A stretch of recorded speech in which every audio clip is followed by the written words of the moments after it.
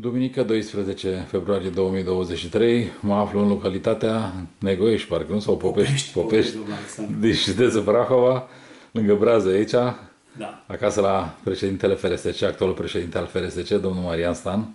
Vă salut, domnul Vă Marian. salut, domnul Alexandru. Și pentru început țin să vă mulțumesc pentru faptul că ați acceptat invitația noastră de a sta de vorbă puțin despre columbofilia românească, sportul columbofil. Ce faceți? Cum sunteți? Fiind weekend eram pe lângă casă. Am trecut și eu- așa. Și, da, e inopinant, dar oricum vă mulțumesc și eu. Pentru De mult vă că- amenințam că trec pe aici, astăzi Da. în drum spre București, zic, Da. ia să văd Ținând dacă e cont că acasă. Sunteți unul dintre cele mai puternici site-uri de profil columbofil din România și vreau să vă felicit pentru asta, pentru că am văzut că sunteți imparțial cu toate structurile Da, să știți că sportive. încerc să Și mediatizez. încercați să mediatizați și chiar să atrageți atenția vis-a-vis de anumite lucruri din uh, sportul columbofil. Eu vreau să vă felicit pentru asta încă o dată. Vă mulțumesc. Sunt încântat și chiar îmi doream să facem o discuție vis-a-vis de sportul columbofil din România. Sunteți de acord să începem așadar, da? Da, Cu domnul Tunduc nu se poate, sau n-am, n-am reușit să realizez. Cu domnul Bondila am mai reușit, cu dumneavoastră până acum nu prea. prima dată. E prima oară, să mai serios așa. Știu că în urmă cu o perioadă de câteva zile cât a fost, ați avut o adunare generală.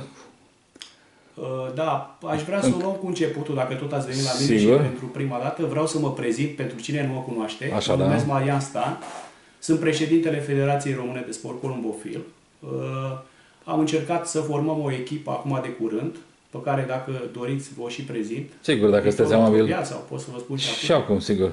Da, președinte subsemnatul, secretar general domnul Zavate Ioan, vicepreședinte administrativ cu probleme organizatorii domnul Nicolae Jean, Da. vicepreședinte CNS domnul Crețu Ovidiu, un băiat foarte inimos, Ce tânăr, da. uh, vicepreședinte la Comisia de Marketing și Publicitate domnul Burgheanu Daniel, da, de la Iași, și membrii avem uh, șef departament Comisia Centrală a Arbitrilor și Etică Sportivă, domnul Constantin uh, Cosmin de la Bacău, la Comisia de Avizare Licențiere a Cluburilor pe domnul Constantin Marian de la Brazi, da? Da.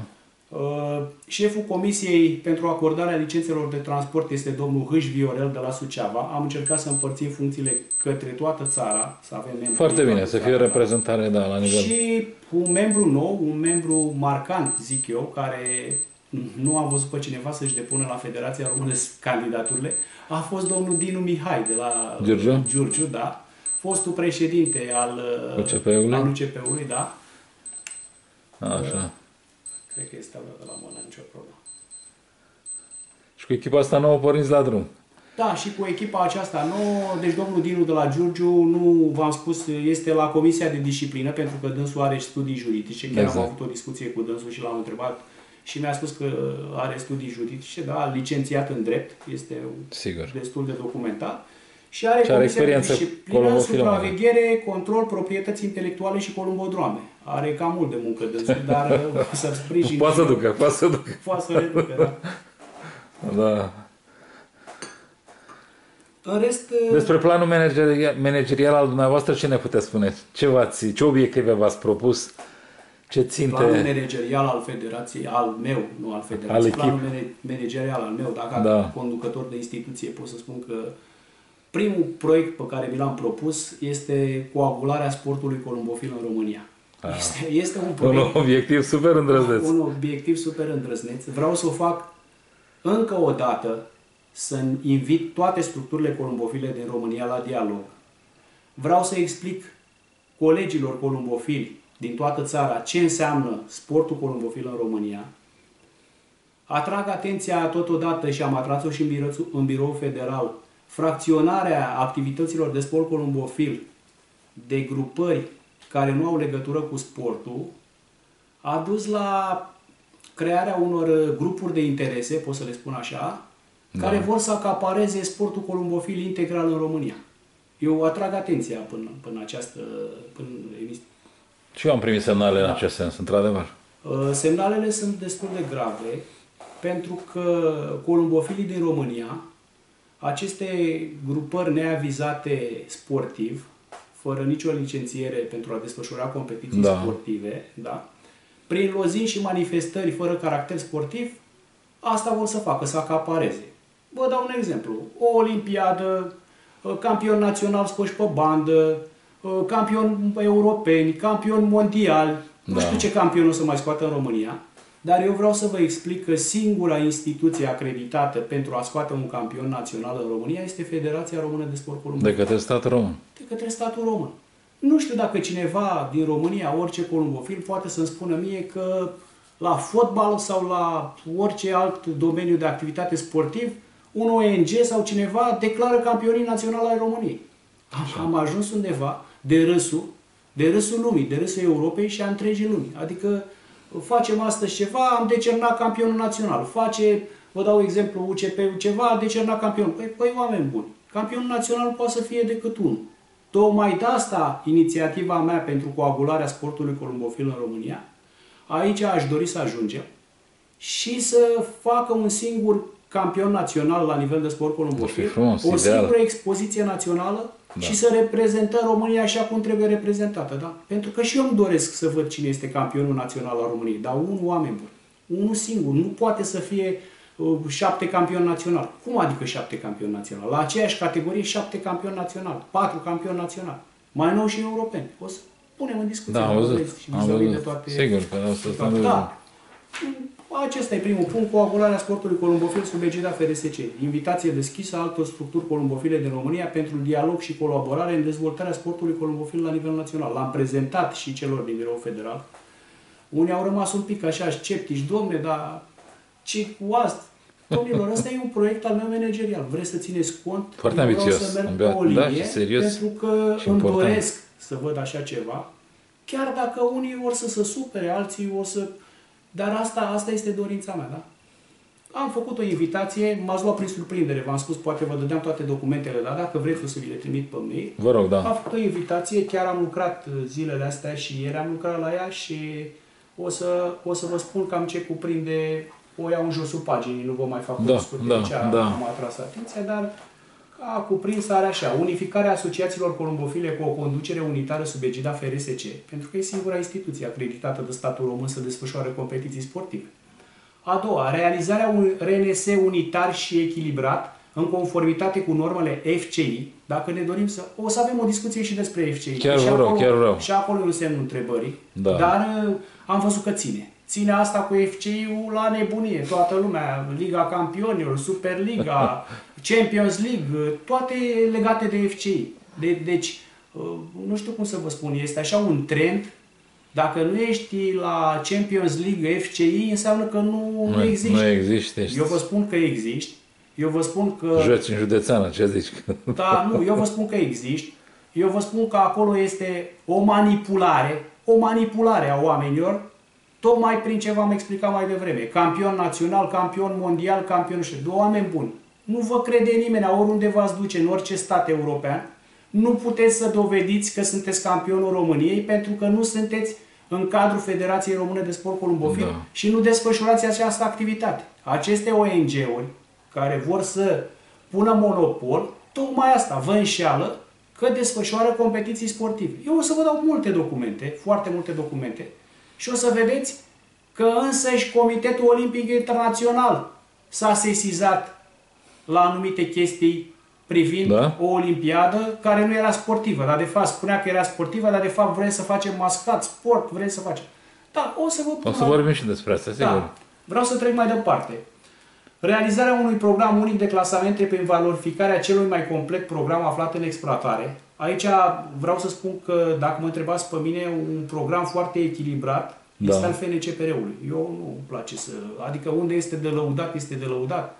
Unde critică... Într-adevăr, avem și FRSC-ul care are un program și UCP-ul avem cam același program de clasamente, dar nu atinge nivelul cel, celui de la FNCPR. Da? Eu am spus... Deci ați putea merge în prima fază pe programul lor, nu? Deci eu vreau să luăm lucrurile, nu toate, nu cele trei entități, fiecare are câte ceva bun, da? Da, Dar sau- trebuie analizate, puse într-o discuție Implementa pe, și pe fundalul făcut lor, pentru da. România ce este mai bun pentru columbofil și ce este mai corect pentru columbofil.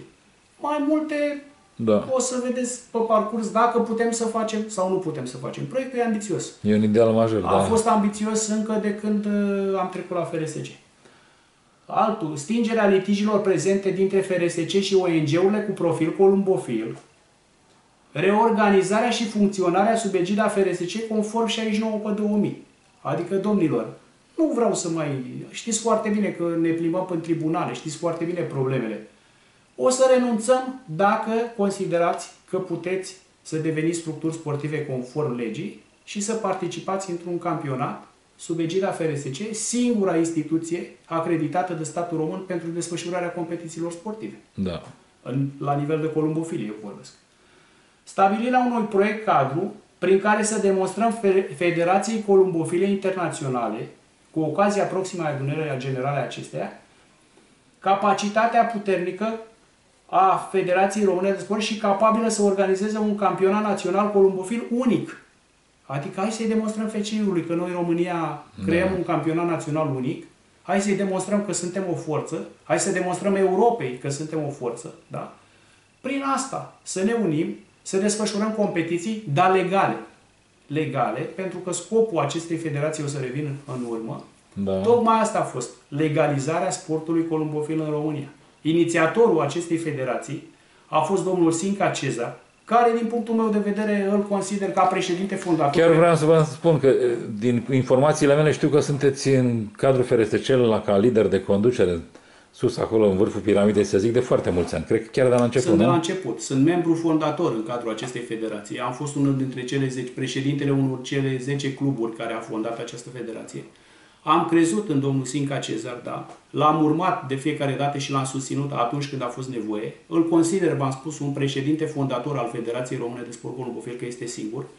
Dar vreau să spun că această muncă a fost dusă de o echipă, da? Și vreau să mhm. felicit în primul rând, dacă îmi dați voie, cluburile participante care au crezut atunci în FRSC și s-au constituit legal, a fost o muncă să convingi oamenii, inclusiv pe mine, să mă convingă să mă transform într-o instituție legală acreditată de statul român.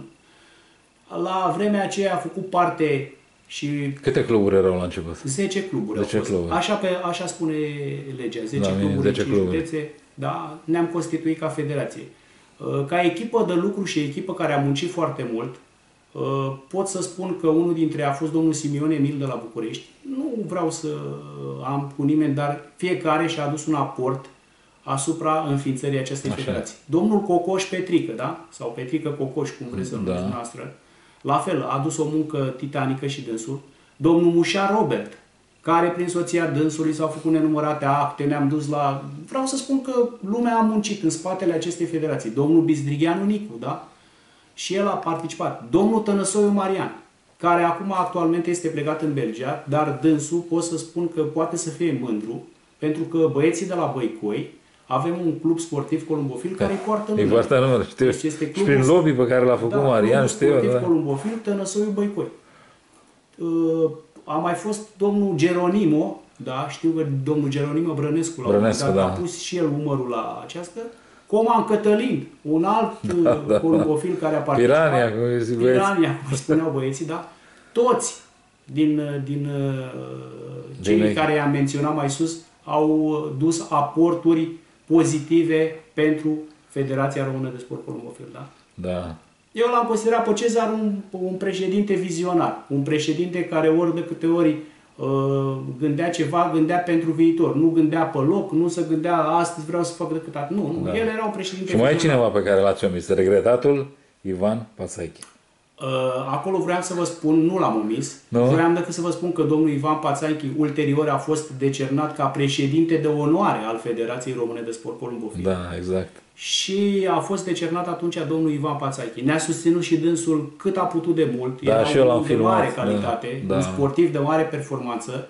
Am fost mândri că a fost alături de noi. A fost alături de noi și că ne-a susținut atunci pentru această ramură de sport care era nouă care toată lumea nu știa cu... Așa, ci toată lumea întreba, dar cum fac porumbei, dar cum fac?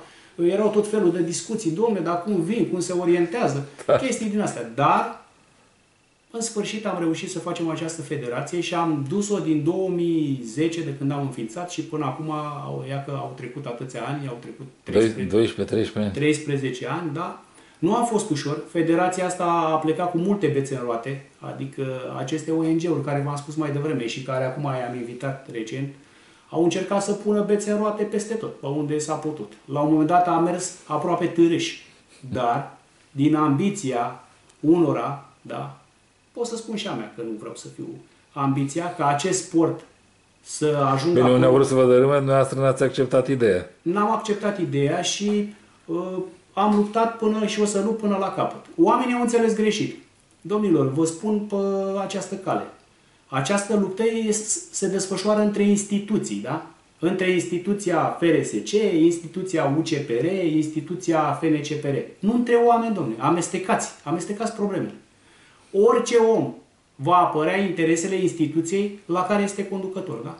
Și vă promit tuturor columbofilor că atâta timp cât o să fiu la FRSC, o să duc lupte aprige pentru apărarea intereselor acestei instituții și pentru a promova și dezvolta sportul columbofil la nivel național. Da? Da. Pentru că asta ne-am dorit, da? Ăsta a fost obiectivul. Ăsta a fost obiectivul și al lui Singa. Ce facem? Scoatem de tot ce era la negru, tot ce era în sportul columbofil, nu știa nimeni de nimic, haideți să-i dăm o cale legală. Pentru ce credeți că am făcut asta? Vă spun tot eu, vă răspund tot eu la întrebare. Am făcut-o pentru că ne-am propus atunci ca acești columbofili care constituie cluburi sportive să desfășoară o activitate legală, da, sub o instituție acreditată de statul român și să beneficieze, domnul Alexandru, că de pe urma Federației Române de Sport Columbofil, atât la mine la Brazi, cât și În toate mul- în cluburile multe alte care locuri, da, activează știu. în multe alte locuri, Știu, da. beneficiază de sprijinul autorităților locale, da? financiar. Oameni buni, pentru asta am făcut-o. Pentru că toți, la un moment dat, puteți să beneficiați de acest sprijin. Da, și de se ce bucură trebuie de- să scoateți mereu dumneavoastră toți banii din buzunar? De ce trebuie să vă impună anumite persoane că trebuie să dați atâta, că trebuie să dați atâta, că trebuie să dați atâta, da? Lumea mi-a zis, la un moment dat, domne, nu te-ai afișat, uh, uh, federația uh, e într-o de-asta care mm, lentă, într-o moarte mai lentă. Domnilor, nu este nicio moarte lentă, da? Nu, v-am, nu m-am afișat din următorul punct de vedere și o să vă explic imediat. Acești oameni care vi-am prezentat mai devreme nu sunt plătiți. N-au niciun... A, deci la noastră nu sunt funcțiile, nu, au sunt nicio- remunerate, Nu nu? sunt remunerate nicio funcție. Atunci eu vă întreb așa. Un om care muncește, care are familie, pot să-i O face spun doar toată din ziua pasiune. Să facă numai Da, pentru știu. FRSC? O face eu din pasiune, am fost un da. nebun și am stat toată ziua la telefon, am stat toată ziua pe discuție, am încercat să aduc oamenilor, să le, să le povestesc, să le spun ce înseamnă sportul Da. da. unde trebuie să ajungem. Asta a fost că a fost, v-am spus, o ambiție de-a mea, pot să o recunosc, da? Că am muncit, că nu am vrut să las acest proiect, da? Nu am vrut să-l las și nici nu o să-l las până nu o să ajungă la capăt. La nivel de județ, m, știți foarte bine că dumneavoastră ați participat la o expoziție județeană. Da, mai am multe. predat ștafeta unui tânăr columbofil. Asta îmi doresc și aici. Haideți, domnilor, să vină un tânăr columbofil care dorește să facă așa ceva, iar Da. noi, bătrânii, să stăm pe scaun să le privim porumbei, Cinstit, onest, corect. cinstit, onest, da? Așa. Și să avem și noi locul nostru acolo, că am încercat să ne punem tot, toată silința, uneori și mult aport financiar ca să putem să ținem această Așa. chestie, ca să stăm liniștiți peste câtva timp să ne urmărim porumbei și să zic, uite, domnule, cine e campionul României? X sau Y. Sau... Da, merită, pentru că Da, e merită. reprezentant. da. Asta, asta a fost, asta și este dorința mea. Nu am nimic cu ceilalți participanți, cu ceilalți columbofili, dar uh, vă spun că în viitorul apropiat uh, această federație o să-și urmeze cursul acolo unde trebuie. Vă mulțumesc mult. Și eu vă mulțumesc.